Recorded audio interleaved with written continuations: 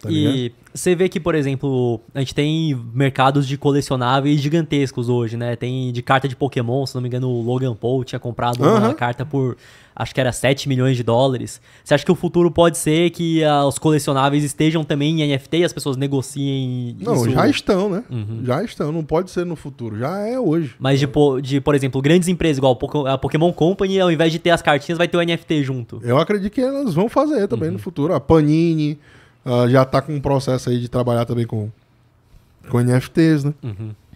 Eu acho que é, essas empresas elas elas estão entendendo o potencial, né? E, e, aí ficou um negócio muito marcado no mercado de NFTs.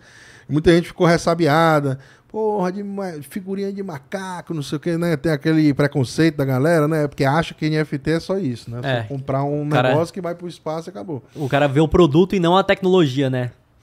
É muito maior, pô. NFT é uma forma de você registrar qualquer coisa da blockchain, pô. Então pode ser uma escritura do imóvel. Imagina aí, tu, tu, tu tem um imóvel aqui, por exemplo, a escritura desse estúdio aqui, desse lugar que a gente está, por exemplo. Né? Se ela tivesse tokenizada dentro da blockchain, poderia ser um NFT, né? E ela, e ela estando tokenizada dentro da blockchain, uma pessoa, por exemplo, lá na Suécia, pode olhar assim, caralho, legal esse estúdio desses caras aqui, né, mano? Esses gêmeos aí estão detonando. Vou querer comprar isso aqui. Quanto é que é? Vamos ver aqui. Ah, os caras estão vendendo aqui por 170 Ethereum. É um cara lá na Suécia. O cara nem viu aqui, nem veio no Brasil, nem olhou porra nenhuma. Ele só viu, achou interessante. Ele, meu irmão, vou comprar aqui, velho. Ele compra ali a NFT, agora o estúdio é dele. Acabou o cartório. Acabou já. o cartório, eliminou tudo. Pô, tu, tu, tem, tu tem a forma de utilizar um banco de dados enorme, entendeu? A, a, a blockchain é um banco de dados. As empresas não sabem como utilizar esse banco de dados ainda propriamente, entendeu? Uhum. E, as, e, e, as startups que estão surgindo, elas estão criando formas para as empresas e negócios, produtos e pessoas poderem utilizar esse banco de dados, uhum. que é público e não permissionado. Essa é a beleza da parada. Então tu diminui muito o custo da parada. Como é que, por exemplo, a Nike vai fazer uma, uma promoção junto com é, uma outra marca, sei lá, Louis Vuitton, Difícil. Eles têm que criar um banco de dados inteiro só para poder gerenciar isso. Uhum. Tá entendendo? Sim. Não tem como. Uhum. Então, eles não vão ficar criando banco de dados, um, um SQL, tudo só para cada coisa que eles vão fazer, com cada parceria, com cada negócio. Integrar isso é uma coisa absurda. Fica muito caro, entendeu? Uhum. E aí, na prática, você ter esse banco de dados público e não permissionado, aberto, transparente, 24 horas disponível para você é uma vantagem enorme. As NFTs são só uma forma de você registrar uma coisa dentro desse banco de dados. Acho que o principal é o cara entender que uma coisa é a tecnologia, outra coisa é o que estão usando para fazer para como produto para fazer com essa tecnologia, que nem o que teve que fez muito sucesso 2021 eram aqueles jogos NFT. Só que aí o cara comprava um NFT com um token e em 30 dias ele já tinha o mesmo número de tokens que ele gastou para ter aquele NFT. E provavelmente ele vai querer vender e, consequentemente, acaba não sendo sustentável pro cara que entrou nisso querendo ter ganhos financeiros gigantescos, né? Uhum. Mas a tecnologia continua sendo a mesma e continua tendo a, a mesma usabilidade, as mesmas propriedades, só que foi usada para fazer algo que não tinha, não tinha como sustentar a longo prazo, né? Acho que esse é o principal. É, esse é o principal ponto. A especulação ela não é uma coisa ruim, não, sabe? A especulação é coisa boa. Sem a especulação, a gente não tava aqui onde a gente tá, não, pô. Não existia iPhone, não existia nada. Tem que ter especulação, entendeu? Agora, se não. Agora, o negócio é quando ela desenfreia demais. Aí tem os excessos, né?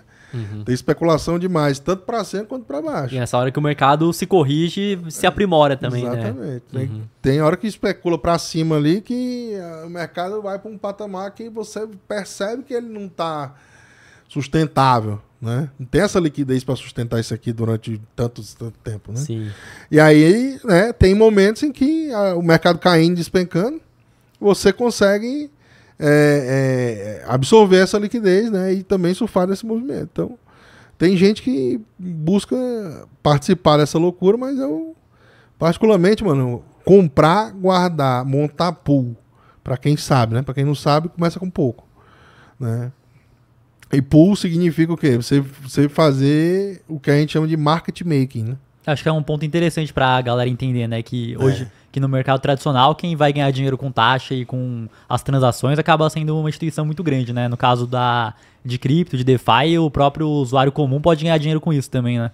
Exatamente, né? Antigamente, né, no mercado tradicional, você tinha que ser amigo do rei ou então ter milhões e milhões ali para você fazer parte, por exemplo, uma citadel dessa da vida e poder ser um market maker, né? Ser o cara que ganha ali o chamado de formador de mercado, o cara que ganha taxa de todo mundo que está operando, comprando e vendendo. O cara compra, paga uma taxa. O cara vende, paga uma taxa. Uhum. Tem alguém que tá ganhando essa taxa. O né? Brasil é, sei lá, pegar a B3, aí o cara tá lá fazendo trade de ação, a B3 que tá recebendo as taxas. Exatamente. Uhum. Tem alguém que tá tem alguém que tá cobrando a taxa ali que vai ganhar tanto na compra quanto na venda. Uhum. E, e, isso daí, dentro do mercado cripto, é feito através das corretoras descentralizadas. A principal é a Uniswap, né? Que tem o maior volume de todos, né? Trilhões e trilhões de dólares já negociados, né? Ao redor desses últimos anos, desde 2020 para cá. E né? É, é, é, interessante que lá você pode se tornar esse formador de mercado a partir de 5 dólares. 1 um dólar. Não tem mínimo. Então é uma coisa extremamente democrática.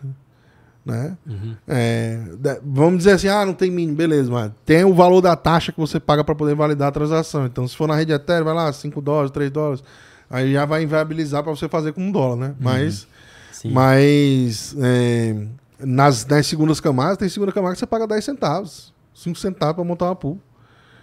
Né? Então, com 10 dólares ali, você já começa a aprender como é que é, que é o processo, como é que você tem que fazer, a programar o seu dinheiro para agir da maneira como você está querendo. Né? Eu estava até dando um exemplo ali antes da gente começar.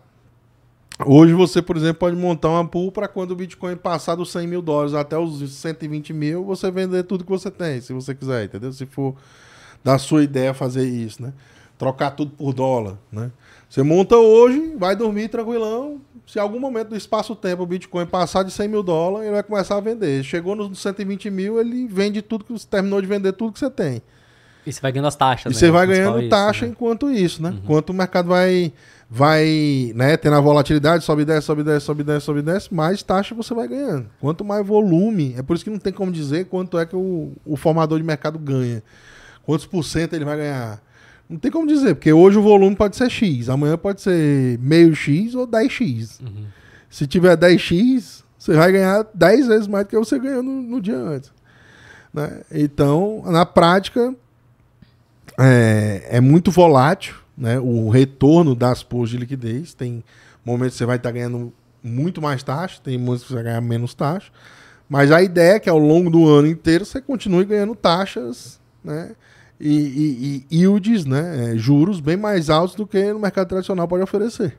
Uhum. Né? Você conseguindo escolher bem as moedas ali, o principal risco está na moeda que você escolhe fazer isso, formar mercado. Né? Se você escolhe, por exemplo, uma ação de uma empresa, né? aliás, uma, uma moeda, por exemplo, para poder fazer formar mercado e a moeda vai a zero, uhum. aí você, tá... foi a zero, Sim. você perdeu. Né? Uhum. Né? Você, o risco é esse. Agora, é, o, o, o segredo é você escolher bons projetos, projetos consolidados, com bastante volume. E tudo isso dá para se acompanhar transparentemente 24 horas por dia na sua casa com o computador ou com o celular. Você pode montar por no celular, no seu iPhone, no seu Android. Não tem negócio de nada. Então, e isso te ajuda a você conseguir fazer o quê? Gerar uma renda, brother você consegue gerar uma renda muito interessante com um ponto de liquidez todo mês. E o rendimento é diário, na prática. Você, você, todo dia, se você quiser, você pode passar meia hora na pool e coletar meia hora de taxa e sair fora com meia hora, tá ligado? Uhum. Não tem esse, esse, ah, tem que passar quanto tempo, eu posso sair, posso entrar, você entra e sai quando quer. E o Body Ape, que você até comprou, tem até hoje o um Mutant Ape. Conta um pouco pra galera aí como que é a experiência de estar tá dentro da comunidade, de festa que tem. Cara, eu acho muito massa, mano. Eu troco ideia direto com a galera, conheço várias pessoas, né? Então, assim, o network é muito bom pra quem gosta de né, trocar ideia com pessoas aí, né? Quem tá construindo principalmente coisas, como eu, eu sou né, um, um founder de projetos, né? Eu tenho um, algumas startups nesse mundo cripto já é, lançadas produtos funcionando e tudo mais, né? É, é, assim como eu, lá dentro dessa comunidade específica dos Board Apes, tem muitas pessoas que estão desenvolvendo, fazendo coisas, criando negócios, é, buscando alternativas, querendo se conectar com outras pessoas ao redor do mundo inteiro. Então eu falo inglês, eu tenho essa oportunidade de trocar ideia com essas pessoas do mundo inteiro. Uhum. Tive a oportunidade de participar da festa lá em Nova York, conheci pessoas inacreditáveis, estava do lado do Beeple, do lado do Jimmy Fallon, do lado do, né, do Snoop Dogg, do Eminem, do Future, desses caras tudo assim do meu lado assim andando assim numa festa com bebida e comida liberada em Nova York, num pier sensacional no rooftop. Então, qu quanto é que eu teria que pagar, por exemplo, para estar tá num ambiente com essas personalidades, com essas pessoas trocando ideia, discutindo qualquer outro tema? Ou com pessoas aleatórias mesmo, pessoas da, da internet mesmo, pessoas que participam da comunidade mesmo. Essa, essas são as minhas verdadeiras é, a minha verdadeira vontade de continuar lá dentro da comunidade, porque eu tenho acesso a informações do que é que essas pessoas estão vendo. Uhum. Para onde é que elas estão olhando?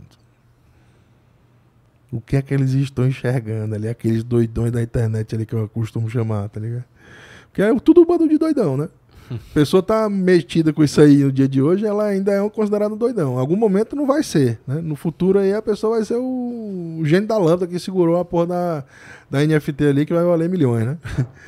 É, agora, agora o, o, a questão toda daqui até lá é que é, tem a questão da aprovação do tempo, né? Uhum.